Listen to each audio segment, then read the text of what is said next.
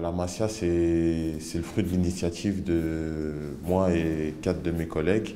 Voilà, on avait pour but euh, de recréer du lien dans notre quartier, voilà, le refaire vivre un peu à travers des événements et des projets qu'on pourrait mener euh, sur toute l'année.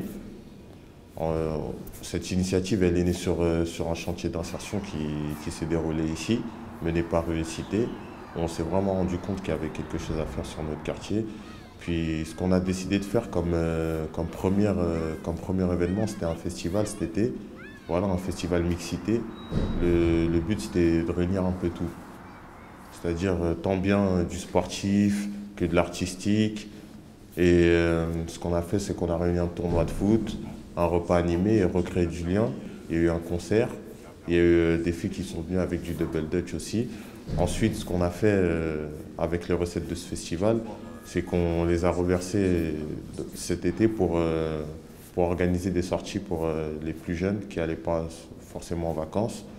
On a fait des ateliers d'expression, on a fait des sorties sur Paris. D'ailleurs, euh, dans cette sortie sur Paris, un journaliste pour Bondi Blog qui est venu nous suivre. Ensuite, on a aussi eu, à l'occasion de la journée du cinéma, un repas animé et un cinéma en plein air. Actuellement, on est sur un projet qui se nomme Mémoire vivante.